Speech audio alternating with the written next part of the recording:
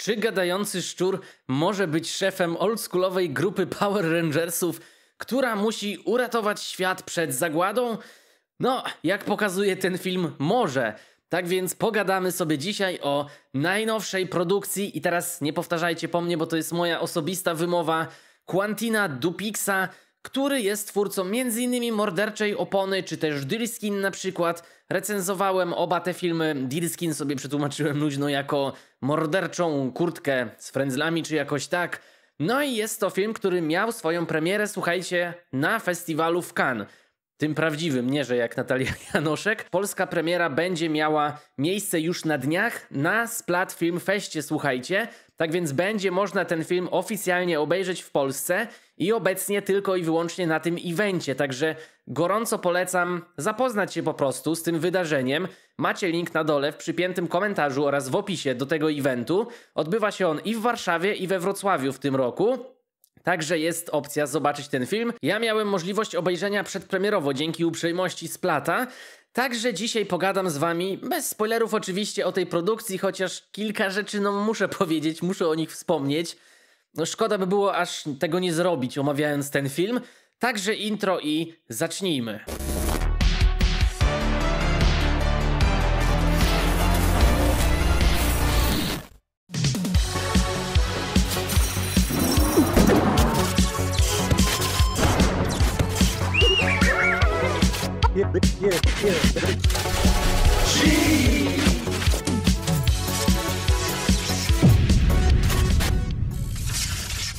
Mógłbym wam teraz opowiedzieć fabułę tego filmu własnymi słowami, tak jak robię to na ogół, ale z racji, że na stronie Splatu zostały przygotowane właśnie specjalne opisy pod to wydarzenie, to posłużę się nim. Jest może trochę długi, ale słuchajcie, będzie najbardziej adekwatny. I jeden minus, bo no nie, masz szczura na plakacie, a szczur jest esencjonalną postacią tutaj. To nie jest żaden koleś przebrany za szczura, żeby nie było też. Tak jak wam ostatnio dobrego pieska omawiałem, gdzie był po prostu koleś w kostiumie psa. Nic bardziej mylnego. To jest zwykły, legitny szczur, któremu się, słuchajcie, jakiś śluz z japy leje, jak ją odzywa, także jest poniekąd trochę odpychający też na pewno, ale no mniamniuśny zarazem. Widzicie zresztą na miniaturce, znowu ten szczur się przewija. Nawet mam go na profilowym na Facebooku, na galerii. Nie mogłem się powstrzymać. Jest to kapitalna postać. Jak się tylko dowiedziałem, że coś takiego będzie, od razu chciałem to obejrzeć. Ale dobra, wracając, no to plakat plakatem. Zanim do opisu jeszcze są tagi. No i mamy tak, jest to film z sekcji What the fuck przede wszystkim, co jest adekwatne jak najbardziej. Tutaj jest jako komedia też hashtag, ale ja bym dodał jak najbardziej tutaj element horrorowy, bo mamy momenty takie gorowe. No i jest to też antologia, no taki specyficzny sens antologii, zaraz to wytłumaczę. Morderczy żółw, bo tak, na początku tego filmu bohaterowie walczą z morderczym żółwiem i to jest też zainspirowane właśnie, no żółwiami ninja po prostu. Jako ta grupa takich rangerów i po prostu flaki rozlewają się wszemi wobec. I już to jest absurdalne, bo to, że flaki lecą na prawo i lewo, to jest jedno, natomiast no to jest żółw taki powiedzmy, nie wiem, pirat z drzwi 80 może miał, teraz strzelam, a ta krew i, flaki wylewają się, słuchajcie, nawet i dolatują na skałę, która jest kilkanaście czy kilkadziesiąt metrów wyżej. I tam ktoś wcześniej stał, i jeszcze dalej, dalej za tą skałą, kilkadziesiąt metrów stoi samochód. I to jest tak abstrakcyjne, że to nawet tam rzekomo dolatuje, wiecie, z wiatrem poleciało. Także no, to, to jest beka jak rzeka w niektórych momentach. Siły nikotynowe, to jest bardzo istotne. Nasi tutaj rangerzy, nasza grupa bohaterów, posługuje się dymem nikotynowym. Oni się w ogóle, ich ksywki wywodzą od składników, które są w papierosach, ale oni odradzają palenie. Mówią, że to jest złe, niefajne i niedobre, więc to nie jest tak, jak w niektórych filmach, że o, chodzi ktoś cały czas ze szlugiem. Oni są przeciwni paleniu, ale siłami nikotynowymi właśnie pokonują różne stwory i starają się świat trzymać w ryzach, żeby nie uległ destrukcji. To może już brzmieć dziwnie, ale to nie są najdziwniejsze rzeczy w tym filmie. Niczym nieograniczona wyobraźnia. Oj tak, jeżeli chodzi o Quentinka, to słuchajcie, gość tak nieszablonowo tworzy swoje filmy i tak nieszablonowo są poprowadzone, napisane właśnie, że czapki z głów chociażby już za to. Okej, okay, nie oglądałem wszystkich jego filmów, bo na przykład, no Mordercza Opona to już dawno była, to był 2010, później w 2019 mieliśmy tą Morderczą Kurtkę jeszcze w 2020 było coś, co ominąłem i dopiero Palenie powoduje kaszel jest kolejnym jego filmem i to jest francuski twórca, dla tych, co nie wiedzą, dlatego ja nawet nie pokuszę się wymowy tego nazwiska bizarre comme ça Problem w tym, że po krwawej walce ze zmutowanym żółwiem czują się nieco zmęczeni. Ich szef, szczur podrywacz, zarządza im więc krótki urlop. W leśnych ostępach bohaterowie dochodzą do siebie, a czas umilają sobie opowiastkami, z których każda kolejna jest bardziej pokręcona od poprzedniej. Dodam jeszcze tylko, że film jest całkiem krótki, tak samo jak ten piesek, którego ostatnio omawiałem, też to samo powiedziałem, jak na pełen metraż, bo właśnie znowu trwa około godziny 15, czyli podobnie jak tamto. I teraz o co chodzi dokładnie z tą antologią tutaj? Ponieważ dla tych, co nie wiedzą, no to antologia polega na tym, że mamy kilka bądź kilkanaście krótszych horrorów, które są przedstawione w formie jednego jakby pełnometrażowego filmu czy horroru. Czyli generalnie oglądamy coś, co ma półtorej godziny na przykład, ale to się dzieje na powiedzmy kilka segmentów, tak? I czasami jest jakiś łącznik taki fabularny, ja to nazwę, w postaci na przykład takiej, mi się coś takiego teraz przypomniało, chyba to jest cukierek albo psikus, że siedzi jakaś babeczka i ona ogląda sobie horrory na telewizorku, chyba na VHS-ie nawet, więc mamy te kilka krótkich metraży, ale ona jest tym łącznikiem, tak? Jakby ona, powiedzmy w cudzysłowie, prowadzi tę produkcję. I jednak częściej trafiam na produkcje, które po prostu opuszczamy 10 krótkich metraży i to tam trwa łącznie 90 minut. Natomiast tutaj rzeczywiście jest tak, że nie tyle, że jest łącznik, ale jest po prostu rzeczywiście ta główna fabuła, czyli mamy tych naszych Avengersów, Power Rangerów, oni mają jakąś misję, Tutaj są niby na urlopie, opowiadają sobie różne historyjki i te historyjki, które są opowiadane przez nich, ale nie tylko przez nich, są tymi krótszymi opowieściami wewnątrz tego filmu, które tworzą nam właśnie na swój sposób te antologie. Ale to, co dzieje się w tych historyjkach, nie jest aż tak istotne, jest absurdalne i czasami bekowe, to na pewno, ale jednak główną fabułą jest ta grupa bohaterów i to, że oni muszą się zmierzyć z globalnym zagrożeniem. No i słuchajcie, jest to z całą pewnością film, który no nie spodoba się wszystkim. Tak jak poprzednie produkcje tego twórcy. No nie każdy lubi morderczą oponę, nie każdy polubi też Deer Skina, czyli tą kurtkę morderczą z frędzlami, ponieważ jest to coś takiego bardzo niestandardowego, co niektórych wprowadzi w na tyle duży dyskomfort, czy nawet po prostu takie what the fuck, ale do kwadratu mam wrażenie, nie takie pozytywne, tylko takie co ja oglądam, czemu ja to oglądam, po co ja to oglądam, że ktoś się odbije po prostu. To na pewno, więc też no to kino jest raczej dla fanów tego typu konwencji. Tutaj ciężko powiedzieć, że to jest e, dla każdego, no bo po prostu nie jest i trzeba zdawać sobie z tego sprawę, żebyście też wiedzieli ewentualnie na co idziecie, ale dla fanów kina takiego trochę niszowego, trochę właśnie abstrakcyjnego, odjechanego, które nie trzyma się żadnych szablonów, gdzie tutaj twórca, on wprost mówi, że on ma w dupie zasady, on po prostu robi po swojemu, jakieś dziwne pomysły,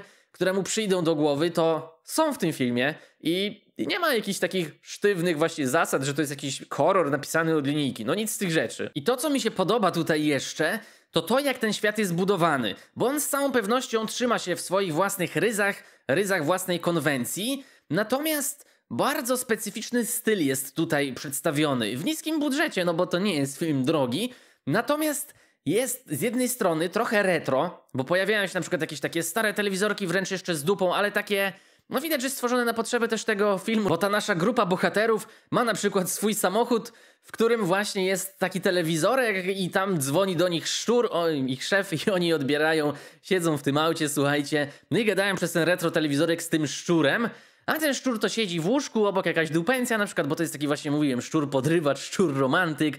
I tutaj to nie jest na tej zasadzie ugrane, że ktoś się zastanawia, że ej, czemu to jest szczur, albo że ktoś się dziwi, że What the fuck, to jest przecież szczur. Czemu on romansuje z kobietą? Juste l'embrasser. Avec ce truc vert qui coule de sa bouche.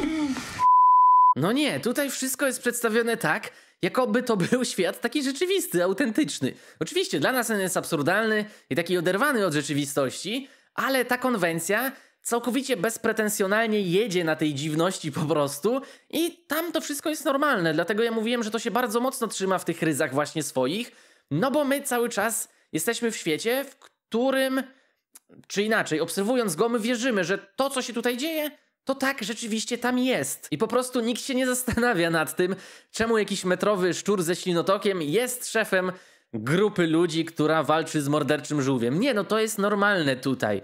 No i tak, z jednej strony mamy te retro, klimaty trochę. Oni tam normalnie gadają sobie z tym szczurem, on tam odbiera słuchawę, elo, benz, co tam się dzieje, trzeba jakąś misję ogarnąć. a z drugiej strony mamy trochę futuryzmu. No bo na przykład oni mają taką bazę swoją, powiedzmy, jakieś tam okrągłe wejście i wchodzą coś do ala bunkru, ja bym mógł to nazwać.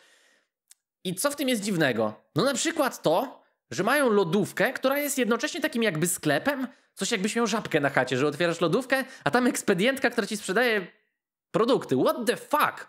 I to jest, słuchajcie, właśnie fantastyczne połączenie e, tych dwóch elementów. To jest jedna sprawa, a druga sprawa, że oni mają jeszcze takiego robocika, który no pomaga im powiedzmy w wielkim skrócie przy różnych misjach. No i dopóki procedura U55 nie zostanie aktywowana, to jest jeszcze względnie spoko, ale jak to się wydarzy, to bohaterowie będą w głębokiej dupie. Ale tutaj nie będę zdradzał kompletnie o co chodzi, sami zobaczycie w filmie. No i dobra, tak już podsumowując, bo czuję, że mógłbym o tym filmie gadać i gadać i gadać, aż bym niechcący cały opowiedział, a nie o to mi tutaj jednak chodzi. No to jest to naprawdę dobra rzecz, szczególnie dla osób, które lubią właśnie tego typu dziwaczne konwencje. Może troszkę mało szczura w tym filmie, bo no ja oczywiście nie wiedziałem ile go będzie, ale liczyłem, że może trochę więcej, że on będzie być może taką postacią wiodącą. No a kocham tę postać po prostu. No więc troszeczkę jestem zawiedziony, że go nie było aż tyle, że gdzieś tam w środku filmu on jest praktycznie w ogóle nieistotny, bo my jesteśmy w tych właśnie różnych historyjkach, my jesteśmy w tej antologii, więc on schodzi gdzieś tam nam kompletnie, nawet nie to, że na drugi plan, tylko go nie ma. Także tutaj ciutkę szkoda, ale jak wraca, to wraca z przytupem. No i słuchajcie, czekałem na jedną rzecz, czy się wydarzy. No i w sumie to dziwnie zabrzmi, ale szczur lecący w ślimaka, do jakich my czasów dobrnęliśmy, że takie rzeczy się dzieją? No ale to tylko film. Dodam tylko jeszcze, że jedna z moich ulubionych relacji tutaj to nawet nie grupa naszych Avengersów, tylko relacja właśnie z jednej z historyjek, gdzie babeczka gada sobie z przemielonym gościem, tak to nazwę, z którego wiele nie zostało. I on jeszcze tam peta jara. No ale tak jak y, no, tytuł mówi, te papierosy gdzieś tutaj się przewijać będą. I co prawda nasi bohaterowie główni właśnie od nich stronią, ale jest tutaj taki pewien element, który daje nam trochę inną perspektywę, żeby spojrzeć też trochę, być może to będzie daleko jakiś idący wniosek, ale ogólnie na ludzkość jako trochę na hipokrytów. Ja bym to tak podsumował, żeby nie wdawać się w detale i to też jest wspaniały moment tego filmu. No i jest kilka też takich elementów, w których ja czułem, że ej, to już zaraz się coś wydarzy, coś się teraz stanie i tak dalej. A właśnie twórca tutaj tak bardzo nieszablonowo myśli, że on potrafi niesamowicie długo przeciągać niektóre sceny, że wręcz ja byłem pewny, że coś się zaraz wydarzy, albo że coś się zaraz skończy, że już się zmieni akcja, a on przeciąga i przeciąga i przedłuża i to jeszcze wpada w większy absurd cała jakaś dana sytuacja wtedy. Y, czy właśnie w kwestii na przykład tej Milarki myślałem, że to na jakimś etapie zostanie być może trochę podratowane, a nie, on idzie w takie rejony, słuchajcie, dziwactwa tutaj i pomysłowości takiej nieszablonowej, że naprawdę. Ja bym chyba nie potrafił tak filmu nakręcić, a jakbym coś robił, to to chciałbym chyba też trochę jednak absurdu być może wrzucić do, do kina, ale to tak wiecie, oczywiście sobie tutaj trochę wyobrażając na razie, bo ja filmów nie robię, Natomiast, jak miałbym ocenić całość, no to dodam jeszcze tylko, że aktorsko całkiem mi się ten film podoba. Ja też bardzo doceniam jego luz. To, jak Dupix właśnie podchodzi do, do reżyserii tego filmu, że to jest takie kompletnie na luzie. Na pozór można by powiedzieć, że w tym filmie się nic nie dzieje, bo tu nie ma jakichś spektakularnych akcji. Po prostu czasami z tego absurdu wynika jakaś beka, czy z tego gore trochę momentami, czy właśnie z dialogów, ale to nie jest tak, że to jest jakiś horror akcji, gdzie cały czas się tam strumieniami krew leje, że bohaterowie dynamiczne akcje jakieś mają tutaj do podjęcia się, że cały czas jakieś walki właśnie z żółwiami i tak dalej. No nie, oni głównie gadają albo ktoś opowiada jakąś historyjkę, ale sam styl i sam pomysł na te historyjki to jest esencjonalne, to jest siłą napędową, więc mimo, że film krótki, to przyznam, że całkiem długo mi leciał. Nie nudziłem się, żeby nie było, ale było to dosyć ślimacze tempo. Tak, wracając do szczura, który leci w ślimaka, no to też ślimacze tempo. Co prawda ślimaki się tu nie pojawiają, ale jednak w opisie tego filmu już z mojej strony przynajmniej po raz drugi. Tak więc, ostatecznie nie wiem, czy jest to najlepszy film Quentinka, bo też nie widziałem wszystkich, to jedna sprawa. A dwa, że no, jego dzieła nigdy nie wydawały mi się wybitne, ale intrygujące na swój sposób i raczej dobre. To znaczy oponę chyba tam, pamiętam teraz to mam ocenioną na 6 na 10, a kurtkę nie pamiętam, ale pewnie 6 albo 7 wyświetlę teraz. A jeżeli chodzi o palenie powoduje kaszel, no to ja daje siódemkę. Tutaj więc uważam, że to jest dobry film, tak więc ja gorąco zachęcam i polecam wybrać się na ten film, a tak jak mówię, jedyna opcja na razie w Polsce to Warszawa, Kinoteka oraz Wrocław Kino Nowe Horyzonty w przedziale pomiędzy 25 a 30 października tego roku, więc zaglądajcie do linka pod spodem, tam macie harmonogram, tam możecie kupić bilety i nie przegapcie, bo później nie wiem kiedy i czy będzie można w ogóle w Polsce obejrzeć. Także napiszcie w komentarzach, czy chcielibyście się wybrać, a ci co nie, to możecie zostawić po prostu dzisiaj hashtag szczur. No tak, to będzie tutaj najważniejsze, szczurex. To jest przechuj postać, słuchajcie. en étant soudés que vous pourrez sauver le monde. Euh, J'avais prévu de passer du temps un peu avec mes gosses en fait. No najlepsza w tym filmie. Ja żałuję, że nie było z 5 minut jeszcze więcej, bo potrzebowałem go, potrzebowałem. No to jest jakaś oczywiście tam kukiełka, ale mm, wspaniała, wspaniała postać. Król Szefuncio, słuchajcie. No i, i tyle chyba. I jak już będziecie po seansie, właśnie ci, co się wybiorą, to komentujcie, jak wam się film spodobał i czy lubicie w ogóle wcześniejsze produkcje tego twórcy, jak się zapatrujecie też na tego typu koncepty. No więc ja się z wami żegnam, zaglądajcie do linka pod spodem, widzimy się w kolejnych materiałach. No i co, chyba czekam na kolejny film Quentina Dupixa. Bo, bo lubię go oglądać, więc do zobaczenia, to by było tyle na dzisiaj. Trzymajcie się i strzałka. Fumer, c'est nul. Ça fait tousser. C'est un ordre, vous partez immédiatement. No fucking reason.